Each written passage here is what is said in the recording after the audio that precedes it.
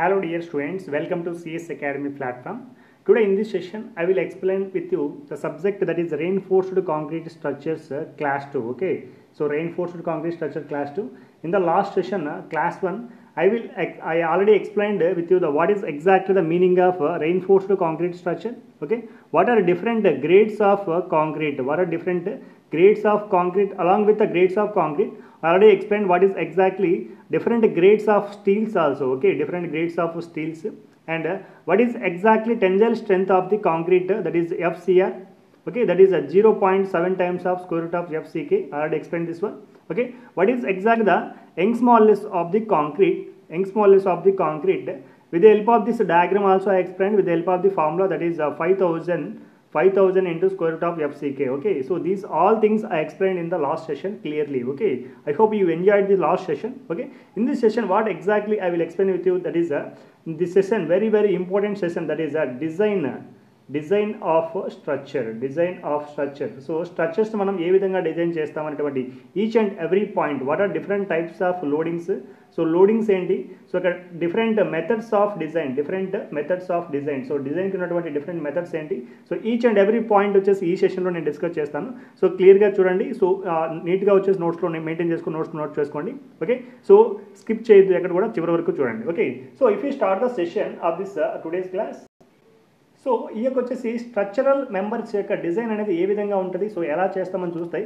First before going into the structural design first we should know what is exactly the meaning of design okay what is exactly the meaning of design so design అంటే ఏంటో క్లియర్గా వచ్చేసి మనం తెలుసుకోవాల్సిన అవసరం ఉంది ఇక్కడ.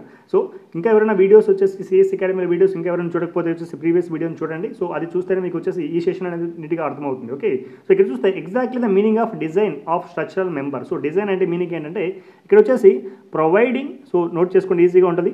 So providing the member providing the member with size with size and number of steel rods okay based upon load okay based upon load ఇక్కడ చూడండి కేర్ఫుల్గా వినండి. చాలా చాలా ఈజీ సో లోడ్ని ఫర్ ఎగ్జాంపుల్ ఒక బీమ్ తీసుకుంటే ఈ బీమ్ మీద వచ్చేసి మనకు ఏ టైప్ ఆఫ్ లోడ్ అప్లై అవుతుంది? సో ఎంత లోడ్ అప్లై అవుతుంది? For example ten kilometres apply అవుతాయి.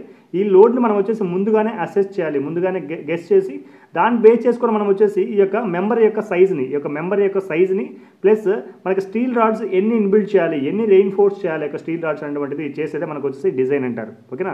సో డిజైన్ అంటే ఏం లేదు. సో మనం వచ్చేసి లోడ్ని ముందుగానే అసెస్ చేసి లోడ్ని ముందుగానే గెస్ చేసి దాన్ని బేస్ చేసుకుని మన యొక్క మెంబర్ యొక్క సైజ్ని మెంబర్ యొక్క నెంబర్ ఆఫ్ స్టీల్ రాడ్స్ అనేటువంటి ఇన్బిల్డ్ చేయడమే మనకు వచ్చేసి ఈ యొక్క డిజైన్ అనేటువంటిది వర్క్ ఓకే? సో ఇక్కడ చూస్తే మనకు వచ్చేసి డిజైన్ని మనం ముందుగానే అసెస్ చేయాలి. ఓకే? సో ఈ విధంగా వచ్చేసి డిజైన్ ముందుగానే అసెస్ చేసి ఈ యొక్క టోటల్ ప్రాసెస్ని మనం ఏమంటామంటే స్ట్రక్చరల్ డిజైన్ అంటాము. స్ట్రక్చరల్ డిజైన్ ఈ యొక్క స్ట్రక్చరల్ డిజైన్ని ఎవరు చేస్తారంటే కనుక స్ట్రక్చరల్ ఇంజనీర్ స్ట్రక్చరల్ ఇంజనీర్ అనేటువంటి అతను వచ్చేసి ఈ యొక్క స్ట్రక్చరల్ డిజైన్ అనేటువంటి టోటల్గా చేస్తారనమాట ఓకే సో ఇక డిజైన్లో మనకు వచ్చేసి ఏం కన్సిడర్ చేసుకోవాలి? మెయిన్ మనకు what are the different considerations main considerations in in design of structural member. So what should we consider? Okay? The first point what should we consider means uh, that is a lifetime. Okay lifetime of structure lifetime of structure okay ఒక structure యొక్క lifetime ఎంత ఉంది okay for example ఒక బిల్ ఒక dam construct చేస్తే so ఇక dam యొక్క లైఫ్ వచ్చేసి ఫర్ ఎగ్జాంపుల్ హండ్రెడ్ ఇయర్స్ అని చెప్తాము. So for example hundred years అంటే ఈ హండ్రెడ్ ఇయర్స్ వరకు మనకు వచ్చేసి ఎలాంటి ప్రాబ్లం రాకుండా సేఫ్గా ఉండాలి. అంటే మీనింగ్ ఏంటంటే లైఫ్ టైం వచ్చేసి మనకు వచ్చేసి కేర్ఫుల్గా వచ్చేసి మనం అబ్జర్వ్ చేయాల్సిన అవసరం ఉంది మెయిన్ కన్సిడరేషన్స్లో దాన్ని మనం ఏమంటామంటే సేఫ్టీ అంటారు సేఫ్టీ సో సేఫ్టీ అనేది ఒక వర్డ్ యూజ్ చేయొచ్చు ఇక్కడ. Okay this is the first consideration before going into the structure design okay second one వచ్చేసి మనకు వచ్చేసి it has to sustain all the loads it has to sustain all the loads so మనకు వచ్చేసి ఏ type of loads వచ్చినా కూడా మనకు వచ్చేసి అది విత్స్టాండ్ చేసుకోగలిగేలా ఉండాలి. అండ్ మనం వచ్చేసి డ్యూరాబిలిటీని కూడా కన్సిడర్ చేయాలి. డ్యూరాబిలిటీని కూడా కన్సిడర్ చేయాలి. ఒక చాలా చాలా ఇంపార్టెంట్ ఈ three points the considerations before going into the design by the structural design structural engineer so structural engineer అతను వచ్చేసి మనకు వచ్చేసి ఈ యొక్క స్ట్రక్చర్ని డిజైన్ చేసే ముందు వచ్చేసి ఈ త్రీ టైప్స్ ఆఫ్ మన కన్సిడరేషన్స్ అనేటువంటివి మెయిన్గా కన్సిడర్ చేసుకోవాల్సిన అవసరం ఉంది. ఓకే సో ఇది టోటల్గా వచ్చేసి యొక్క డిజైన్ బేసిక్ గురించి what is exactly the meaning of design what are the different considerations before going into the design okay so ఇప్పుడు చూస్తే మనకు వచ్చేసి ఇక డిజైన్ చేసేటప్పుడు మనము ఏమేమి మెథడ్స్ యూజ్ చేస్తాము? So what are the different methods so మనకు వచ్చేసి డిజైన్ టైప్స్ ఉన్నాయి design methods so there are different design methods are the first so ఇప్పుడు చూస్తే మనకు వచ్చేసి different methods of design different methods of design కేర్ఫుల్గా ఉండండి different methods of design okay so డిజైన్లో ఉన్నటువంటి డిఫరెంట్ మెథడ్స్ ఏమేమి ఉన్నాయో మనం ఇప్పుడు చూద్దాం. ఈ యొక్క design method different methods of design అనేటువంటిది according to Indian standards according to Indian standard four fifty six two thousand ప్రకారం మనకు వచ్చేసి యొక్క డిఫరెంట్ మెథడ్స్ అనేటువంటివి యొక్క డిజైన్లో రావడం జరిగింది. Okay what exactly this Indian standard four fifty six two thousand ఏం చెప్తుంది మనకి? ఓకే ఏం చెప్తుంది అంటే it tells it tells us how to reinforce the concrete యొక్క కాంక్రీట్ని ఏ విధంగా రెయిన్ ఫోర్స్ చేయాలి? రెయిన్ ఫోర్స్డ్ కాంక్రీట్ ఏ విధంగా ప్రిపేర్ చేయాలి? What are different conditions what are different conditions we should consider okay so what is a different types of loads on the structural member okay different types of loadings ఏంటి?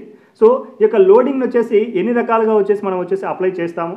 Okay types of loads ఏంటి? So each and every point వచ్చేసి pin to pin మనకు వచ్చేసి యొక్క డిజైన్లో మనకు వచ్చేసి యొక్క డిజైన్ కోర్స్లో వచ్చేసి మనకి ప్రజెంట్ చేయబడుతుంది.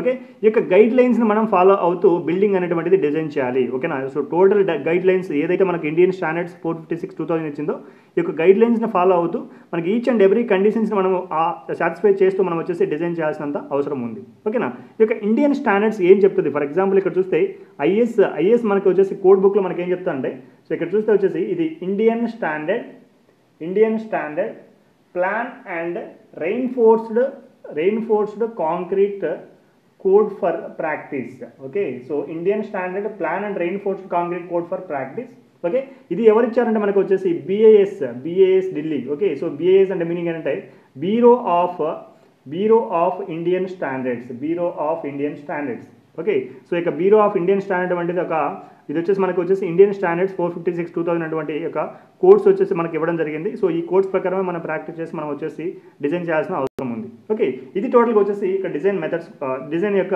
ఎవరు ఇచ్చారండి ఏంటి విషయం గురించి? సో ఇక్కడ చూస్తే మనకు డిఫరెంట్ డిజైన్ మెథడ్స్ ఏమేమి ఉన్నాయంటే మనకు వచ్చేసి there are three types of design methods are they there are three types of design methods అదే సో ఫస్ట్ డిజైన్ మెథడ్ ఏంటంటే మనకు వచ్చేసి first design method working stress method working stress method so కేర్ఫుల్గా note చేసుకోండి చాలా చాలా important ఎగ్జామ్కి ఇది.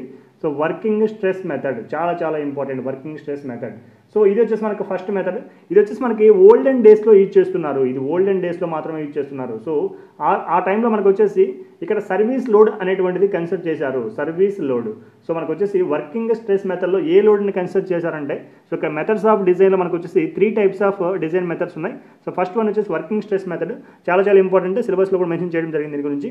ఓకే సో ఇక్కడ వచ్చేసి వర్కింగ్ స్ట్రెస్ మెథడ్లో మనం వచ్చేసి సర్వీస్ లోడ్ని కన్సిడర్ చేస్తాం. What is exactly service load అంటే సో ఫర్ ఎగ్జాంపుల్ ఒక బీమ్ తీసుకుంటే ఇక బీమ్ వచ్చేసి ఫర్ ఎగ్జాంపుల్ బీమ్ మీద వచ్చేసి మనకు వచ్చేసి టెన్ కిలోమీటర్స్ లోడ్ అప్లై అవుతుంది అనుకుంటే ఈ based upon this working stress మెథడ్లో మనం ఏం చేస్తామంటే టెన్ కిలోమీటర్స్ని బేస్ చేసుకునే మనం వచ్చేసి డిజైన్ చేస్తాము. టెన్ కిలోమీటర్స్ బేస్ చేసుకుని మాత్రమే డిజైన్ చేస్తాము. In case for example plus one load act అయింది అనుకోండి plus one kilometres for example eleven kilometres load కింద యాక్ట్ అవుతాయి దీని మీద వచ్చేసి ఈ యొక్క బీమ్ మీద లెవెన్ కిలోమీటర్స్ యాక్ట్ అవుతాయి ఈ బీమ్ వచ్చేసి ఫెయిల్ అయ్యేదానికి ఛాన్స్ ఉంది. ఈ బీమ్ వచ్చేసి ఫెయిల్ అయ్యేదానికి ఛాన్స్ ఉంది. సో కాబట్టి వచ్చేసి ఈ యొక్క మెథడ్ని వచ్చేసి నెక్స్ట్ కమింగ్ జనరేషన్స్లో యూజ్ చేయకుండా వైలేట్ అయిపోయింది అనమాట ఓకే దీన్ని యూజ్ చేయట్లేదు.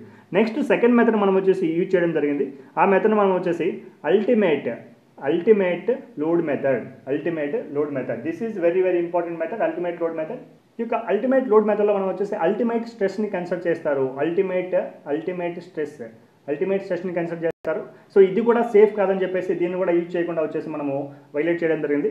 Next third method very very important method it came into the picture that is limit state method limit state method very very important limit state method so present వచ్చేసి మనం use use చేసినటువంటి method ఇది వచ్చేసి best method among all the three methods best method among the all the three methods okay ఈ three మెథడ్స్లో ఇది వచ్చేసి second one ఇది వచ్చేసి third one so third one is the best method among the all three methods okay so third one is the best method okay so present మనము use చేసినటువంటి method వచ్చేసి మనకు వచ్చేసి లిమిట్ స్టేట్ మెథడ్ చాలా చాలా important limit state method మనకు సిలబస్లో direct mention చేశాడు. సో ప్రజెంట్ వచ్చేసి మనకు స్ట్రక్చరల్ ఇంజనీర్ స్ట్రక్చరల్ ఇంజనీర్ వచ్చేసి ప్రజెంట్ వచ్చేసి లిమిట్ స్టేట్ మెథడ్ బేస్ చేసుకుని మనకు డిజైన్ చేయడం జరుగుతుంది. Okay so according to limit state method what exactly limit state method తెలుసు okay so limit state method ఏం చెప్తుందంటే మనకు ఫర్ ఎగ్జాంపుల్ ఒక బీమ్ తీసుకుంటే ఈ బీమ్ వచ్చేసి ఈ బీమ్ మీద వచ్చేసి for example ten kilometres load act అవుతుంది అనుకుంటే ఓకే సో లిమిట్ స్టేట్ మెథడ్లో ఎలా డిజైన్ చేస్తారంటే సో ట్వంటీ కిలో న్యూటన్స్కి వచ్చేసి డిజైన్ చేయడం జరుగుతుంది. ట్వంటీ కిలో న్యూటన్స్కి డిజైన్ చేయడం జరుగుతుంది.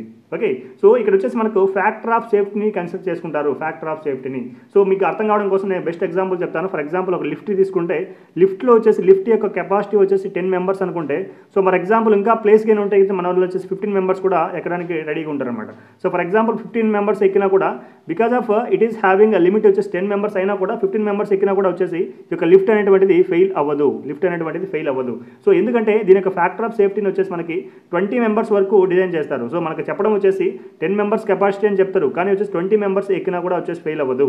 ఓకే సో ఆ విధంగా డిజైన్ చేస్తారు. సో కాబట్టి ఈ యొక్క లిమిట్ స్టేట్ మెథడ్లో మనకు వచ్చేసి బెస్ట్ మెథడ్ కాబట్టి among the three methods so that we are following this limit state method now nowadays okay so ఇది మనకు వచ్చేసి different types of methods of design in the structural design okay so I hope you got this point ఎవరైనా screenshot తీసుకోండి ఇంకెవరికైనా కావాలండి. So ఇది మనకు వచ్చేసి different types of designs methods of designs of structural member structural మెంబర్ని ఏ విధంగా design చేస్తామనేటువంటిది ఇక్కడ చెప్పడం జరిగింది ఇక్కడ. సో ఇక్కడ చూస్తే మనకు వచ్చేసి నెక్స్ట్ పాయింట్ ఏం ఏం డిస్కస్ చేస్తామంటే సో మనకు వచ్చేసి డిజైన్ చేసిన తర్వాత ఈ యొక్క స్ట్రక్చరల్ మెంబర్ మీద లోడ్స్ అనేటువంటివి యాక్ట్ అవుతాయి.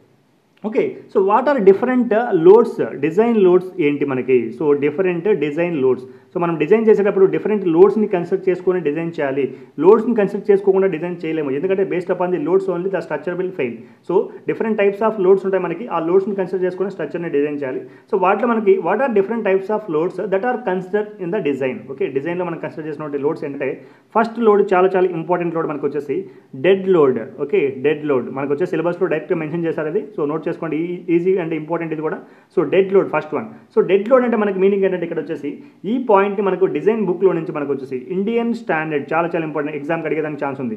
Indian standard eight seventy five part one నుంచి దీన్ని ఎక్స్ట్రాక్ట్ చేయడం జరిగింది. ఈ యొక్క డెడ్ లోడ్ అనేటువంటి కాన్సెప్ట్ని Indian standard eight seventy five part one నుంచి దీన్ని ఎక్స్ట్రాక్ట్ చేయడం జరిగింది. ఓకేనా? సో ఈ యొక్క డెడ్ లోడ్ అంటే మీనింగ్ ఏంటంటే ఇది మనకు fixed load fixed load so ఇది వచ్చేసి మనకు వేరీ అవ్వదు.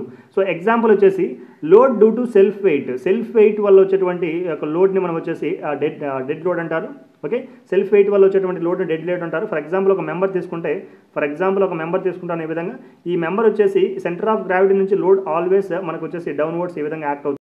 ఓకేనా ఈ విధంగా డౌన్వర్డ్ యాక్ట్ అవుతున్నటువంటి యొక్క లోడ్నే వచ్చేసి మనకు సెల్ఫ్ వెయిట్నే ఇక ఓన్ సెల్ఫ్ వెయిట్నే మనం వచ్చేసి దీన్ని డెడ్ లోడ్ అంటారు డెడ్ లోడ్ అంటారు.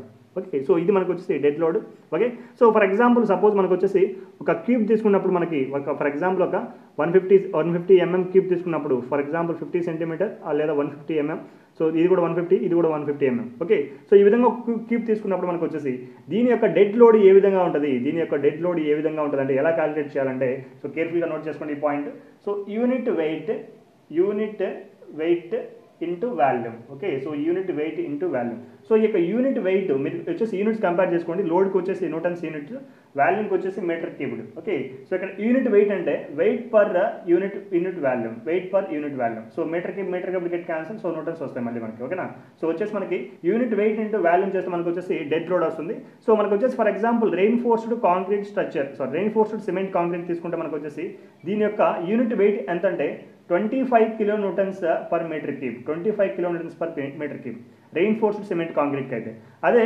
ప్లెయిన్ సిమెంట్ కాంక్రీట్కి అయితే పీసీసీకి అయితే మనకు వచ్చేసి యొక్క యూనిట్ వెయిట్ ఎంత ఉంటుందంటే twenty four kilometres per metre cube twenty four kilometres per metre cube so ఈ రెండు చాలా ఇంపార్టెంట్ ఎగ్జామ్కి అడిగేదానికి ఛాన్స్ ఎక్కువ ఉంది. సో వచ్చేసి గుర్తుపెట్టుకోండి ఈ పాయింట్స్ రెండు కూడా. Okay so reinforced concrete reinforced cement కాంక్రీట్కి అయితే యొక్క యూనిట్ వెయిట్ వచ్చేసి ట్వంటీ ఫైవ్ కిలోమీటర్స్ పర్ మీటర్కి పీసీసీ ప్లెయిన్ సిమెంట్ కాంక్రీట్ అయితే మనకు వచ్చి twenty four kilometres per metre cube okay so for example ఇక్కడ చూస్తే మనకు వచ్చేసి ఇక్కడ సబ్స్టిట్యూట్ చేస్తే dead load dead load for this simple cube simple క్యూబ్కి మనకు వచ్చేసి డెడ్ లోడ్ చూస్తే మనకు వచ్చేసి యూనిట్ వెయిట్ వచ్చేసి ఫర్ ఎగ్జాంపుల్ ఇది ఆర్సీసీ అనుకుంటే సో వచ్చేసి twenty five okay for example ఇది వచ్చేసి మనకి ఆ పీసీసీ అనుకుంటే twenty four so whatever it may be మనం ఏదైనా తీసుకోవచ్చు. So twenty four okay so into మనకు వచ్చేసి వాల్యూమ్ వాల్యూమ్ వచ్చేసి మనకి fifteen centimetre fifteen centimetre fifteen centimetre so కాబట్టి zero point one five into zero point one five into zero point one five so దీన్ని multiply చేస్తే some value మనకు వస్తుంది. Okay for example ఇది వచ్చేసి మల్టిప్లై చేస్తే మనకు zero point zero eight one kilo newtons వస్తుంది. ఓకే దీన్ని మనం ఎయిటీ వన్ న్యూటన్స్ కూడా రాసుకోవచ్చు. ఓకే సింపుల్ క్యూబ్ తీసుకున్నప్పుడు మనకు వచ్చేసి ఈ యొక్క డెడ్ లోడ్ అనేటువంటిది ఏ విధంగా క్యాలిక్యులేట్ చేయాలో చెప్పాను. సో ఇది కూడా చాలా important unit weights unit weight of RCC unit weight of PCC okay ఒక మీటర్ క్యూబ్కు ఎంత లోడ్ యాక్ట్ అవుతుంది? Unit weight per single single volume okay so ఇది మనకు వచ్చేసి uh, డెడ్ లోడ్ గురించి కంప్లీట్గా డెడ్ లోడ్ గురించి ఎక్స్ప్లెయిన్ చేయడం జరిగింది. So first one okay so ఇదే విధంగా మనకు వచ్చేసి different types of design loads ఉన్నాయి మనకి. So first one dead load గురించి డిస్కస్ చేయడం జరిగింది. సో సెకండ్ మనం చూస్తే డెడ్ లోడ్ తర్వాత సెకండ్ వన్ చూస్తే డెడ్ లోడ్ తర్వాత మనకు వచ్చేసి లైవ్ లోడ్ వస్తుంది. ఓకే సెకండ్ వన్ మనకు వచ్చేసి live load okay live load so dead load అయిపోయింది మనకు second load live load live లోడ్ని మనం ఏమంటామంటే imposed load imposed load so imposed load మనకి పేరులోనే ఉంది చూడండి. సో ఇంపోజ్ చేస్తున్నాం మనము. ఒక బీమ్ మీద వచ్చేసి మనకి ఇంపోజ్ చేస్తున్నాము. సో ఎగ్జాంపుల్ మనకు దీన్ని అర్థం చేసుకోవడం కోసము ఒక స్క్వేర్ ఒక స్క్వేర్ మీటర్కి లోడ్ ఏ విధంగా డిస్ట్రిబ్యూట్ అవుతుందో దాన్నే వచ్చేసి మనము లైవ్ లోడ్ అంటాము. ఫర్ ఎగ్జాంపుల్ ఇది ఒక వన్ మీటర్ వచ్చేసి లెంత్ వన్ మీటర్ విడ్త్ అనుకుంటే ఓకే సో ఈ యొక్క one metre length one metre width load వచ్చేసి ఏ విధంగా డిస్ట్రిబ్యూట్ అయ్యింది చెప్పేదే వచ్చేసి మనకి లైవ్ లోడ్ అంటారు okay how load is distributed in the given area ఒక ఏరియా ఒక గివెన్ ఏరియాలో వన్ మీటర్ స్క్వేర్ ఏరియాలో సో ఏ విధంగా లోడ్ అయినటువంటి డిస్ట్రిబ్యూట్ అయిందో చెప్పేది మనకు వచ్చేసి యొక్క లైవ్ లోడ్. ఓకే సో ఇక లైవ్ లోడ్లో మనకు వచ్చేసి మనం చెప్పాలంటే ఈ యొక్క లైవ్ లోడ్లో రెసిడెన్షియల్ బిల్డింగ్స్కి ఒక విధంగా ఉంటుంది live load. Okay so commercial building ఒక విధంగా ఉంటుంది ఎడ్యుకేషన్ బిల్డింగ్ ఒక విధంగా ఉంటుంది. సో వచ్చేసి మనకి ఒక మీటర్ స్క్వేర్ ఏరియాకి ఎంత లోడ్ యాక్ట్ అవుతుంది? అంటే kilo newton per metre square. ఒక మీటర్ స్క్వేర్ ఏరియాకి ఎంత లోడ్ యాక్ట్ అవుతుందో చెప్పేది మనకు వచ్చేసి ఇది ఒక వచ్చేసి మనకు వచ్చేసి లైవ్ లోడ్. ఓకే? సో దీన్ని లైవ్ లోడ్ని ఎక్కడి నుంచి ఎక్స్ట్రాక్ట్ చేశారంటే వచ్చేసి Indian standard eight seventy five. So part two నుంచి తీసుకువచ్చారు ఓకేనా? సో ఫస్ట్ వచ్చేసి డెడ్ లోడ్ని పార్ట్ వన్ నుంచి ఇది పార్ట్ టూ నుంచి తీసుకురావడం జరిగింది. Okay? So residential building residential residential బిల్డింగ్స్కి వచ్చేసి మనకి ఈ యొక్క లైవ్ లోడ్ ఎంత ఉండాలంటే two kilo newtons per metre square. చాలా చాలా ఇంపార్టెంట్ ఇవి అడుగుతుంటాడు. నోట్ చేసుకోండి. ఓకే రెసిడెన్షియల్ బిల్డింగ్కి ఈ యొక్క వచ్చేసి లైవ్ లోడ్ ఎంత ఉండాలంటే two kilo newtons per metre square ఉండాలి. ఓకే అదే ఫర్ ఎగ్జాంపుల్ కమర్షియల్ బిల్డింగ్స్కి అయితే కమర్షియల్ బిల్డింగ్స్కి అయితే మనకి ఎంత ఉండాలంటే five kilo newtons per metre square ఉండాలి. ఓకే ఒక మీటర్ స్క్వేర్ ఏరియా తీసుకుంటే ఈ మీటర్ స్క్వేర్ ఏరియాలో మనకి ఎంత లోడ్ డిస్ట్రిబ్యూట్ అవ్వాలి అంటే two kilo newtons per residential building five kilo newtons per commercial building అదే ఫర్ ఎగ్జాంపుల్ ఎడ్యుకేషనల్ బిల్డింగ్స్కి అయితే లేదా వచ్చేసి ఇన్స్టిట్యూషనల్ బిల్డింగ్స్కి అయితే మనకు వచ్చేసి three kilometres per metre square వచ్చేసి మనకి ఈ యొక్క లైవ్ లోడ్ అనేది ఉండాలి. ఇంతకన్నా ఎక్కువ ఉండకూడదు. సో ఇది వచ్చి మనకి డిజైన్ లోడ్స్ ఓకే సో ఈ విధంగా డిజైన్ చేయాలి మనము డిజైన్ చేసేటప్పుడు. ఓకే లైవ్ లోడ్స్ అనేటువంటివి ఈ విధంగా ఉండాలి. ఓకే సో ఇది మనకు వచ్చేసి second load live load first load వచ్చేసి dead load okay next third load చూస్తే మనకు వచ్చేసి wind load wind load okay చాలా చాలా ఇంపార్టెంట్ విండ్ లోడ్ సో దీన్ని ఎక్స్ట్రా ఎక్కడి నుంచి ఎక్స్ట్రాక్ట్ చేశారంటే Indian standard eight seventy five part three నుంచి మనకు వచ్చేసి ఎక్స్ట్రాక్ట్ చేయడం జరిగింది. ఇది కూడా ఎగ్జామ్లో అడుగుతాడు. సో విండ్ లోడ్స్ మనం ఎక్కడి నుంచి తీసుకోవచ్చు ఎక్కడి నుంచి ఎక్స్ట్రాక్ట్ చేసామంటే ఈ యొక్క డిజైన్ కోడ్ బుక్ మనకు వచ్చేసి Indian standard four seventy six four seventy six two thousand నుంచి మనకు వచ్చే సెకండ్ నుంచి తీసుకొని వచ్చామంటే Indian standard eight seventy five part three నుంచి తీసుకొని రావడం జరిగింది. ఓకే సో ఇక్కడ చూస్తే మనకు వచ్చేసి దీంట్లో విండ్ లోడ్ మనం ఎక్కడ కన్సిడర్ చేస్తామంటే ఏ విధంగా కన్సిడర్ చేస్తామంటే ఫర్ ఎగ్జాంపుల్ బిల్డింగ్ వచ్చేసి ఎక్కువ హైట్గానే ఉంటే వచ్చేసి మనకి ఎక్కువ వచ్చేసి మనకి దాని మీద విండ్ యొక్క ఎఫెక్ట్ అనేది ఉండడం జరుగుతుంది. దాని యొక్క షేప్ను బేస్ చేసుకొని వచ్చేసి మనకి విండ్ ఎఫెక్ట్ అనేది ఉంటుంది.